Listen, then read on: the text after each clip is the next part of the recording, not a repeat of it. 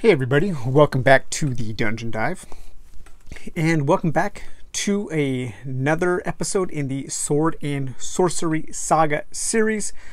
I really should have picked a name for this series with fewer S's in it. but uh, anyways, we are going way back in time now to a work of proto sword and sorcery, and that is Abraham Merritt's The Ship of Ishtar originally published in 1924. So, as longtime viewers of the Dungeon Dive know, Abraham Merritt is one of my favorite authors. Uh, maybe top five authors of all time. He is probably my favorite pulp author. I absolutely love almost everything I've read from him. Now, this is the first time that I have read The Ship of Ishtar. And that is kind of weird because this is often cited as his best, or at least his most popular. Many, many copies of this book were sold. We'll get a little bit more into Merritt as the series goes on, and I will probably do an episode on him because I'm planning on reading a, a biography on Merritt. But he was an insanely popular author when he was living. A lot of these pulp authors were not very popular in with like big mass market sales while they were living. But Merritt was, and this book was a very good selling book.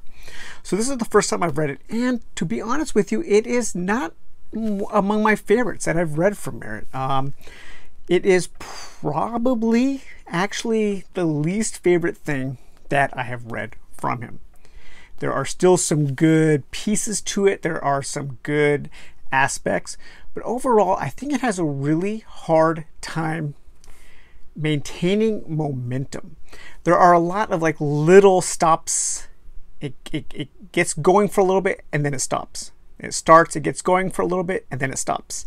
There's like these little vignettes, little kinds of things that happen, but it's not a very good novel in the sense that it doesn't feel like it progresses very uh, it just like yeah, it, it doesn't build momentum in a way that I would expect, even from a collection of interconnected stories like an Elric novel would.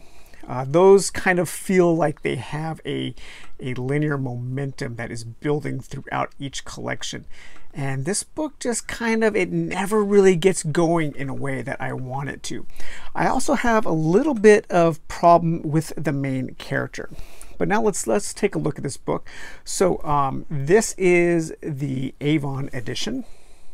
So let's see what this particular Avon edition has to say. Uh, the Ship of Ishtar. The American adventurer was pitched out of his own time and into a weird world of incredible and enticing marvels. So this is kind of almost kind of a work of Sword and Planet. You have a man uh, named Kenton. He's like an explorer, an archaeologist from our world. And he discovers this block of stone and he chisels away this block of stone. And encased in this stone is a model of this ship. And on the ship are these little miniatures, and almost like it's like he's looking at a toy. He's discovered this ancient toy. He calls the little miniatures mannequins. And uh, he notices that at certain times, like the mannequins will actually change position, like it's moving somehow. And without him knowing why or how or how to trigger it, he finds himself teleported onto the deck of this ship in this very kind of typical sword and sorcery uh, world. The reason why I don't think it's exactly Sword and Planet is because he's not teleported really to another world. He's not teleported to Mars or to Venus. There isn't really any kind of space or science fiction aspect to this book. He is very much teleported into a world of sword and sorcery. And without him able to, he's not able to control this teleportation. So in the most usually in opportune moments or sometimes uh, he's whisked away while he's being captured. There there are times throughout the book where he is teleported to the ship and then also teleported back to our world his world on earth. And he can't quite figure out why this is happening. But the more time he spends on his ship the more time his modernity, his uh, modern man, his sensibilities, his modern sensibilities, his education, the more of that kind of thing is kind of stripped away and he becomes more brute like, almost more barbarian like. And in that sense, I kind of like the way the character progresses because he is actually, he's kind of a louse. Uh, he's kind of a jerk. And he's very much into taking things that he wants without, you know, and sometimes those things are women. And even when a woman offers offers herself to him, he's like, "No, you will not offer. I will take." And the more and more time he spends on this ship, the more brutish he becomes. And that is somewhat interesting, but I still don't really feel like there is much character progression. He's just not a very interesting character. Um, you know, Conan can be kind of brutish, but Conan is interesting because he's very good at a lot of things and he makes interesting decisions. Um, you know, Elric is not brutish, but Elric is an interesting man. He's an interesting person who makes interesting decisions and has interesting powers. Kenton, the main character here, never really comes across as somebody who is interesting. I'm not interested in spending time at all with this character. And for a work of sword and sorcery at over 200 pages, it is on the longer side. But this says a ship of love, a ship of doom. The goddess of love and beauty was adrift on an enchanted ocean in a magic world. The myriad forces of satanic evil plagued the vessel of the red haired, passionate goddess. Only one man, John Kenton, the American adventurer, could save Ishtar's priestess from the black magic which divided her world from ours. So, by far the most interesting thing about the book is the ship of Ishtar itself. And as you can tell from this cover, the front of the ship is the light side, and this is where the goddess of love dwells. And the back of the ship is the dark side, and the ship is divided at the mast. And there's a magical force field that if you pledge yourself to the goddess of love, you cannot pass it and go to the satanic evil side, and vice versa. And so there's this really interesting kind of dichotomy on this ship where there are two warring factions on this ship that both want to kill each other, but they've both pledged loyalty to their respective sides, and so they can't get at each other. Well, when Kenton teleports to the ship, he has not devoted his life to either side yet. So he can pass through this barrier and he can do the whims of either side against each other.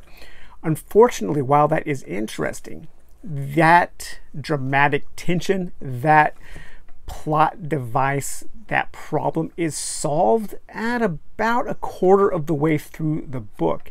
And so you very quickly lose that most interesting aspect of the book.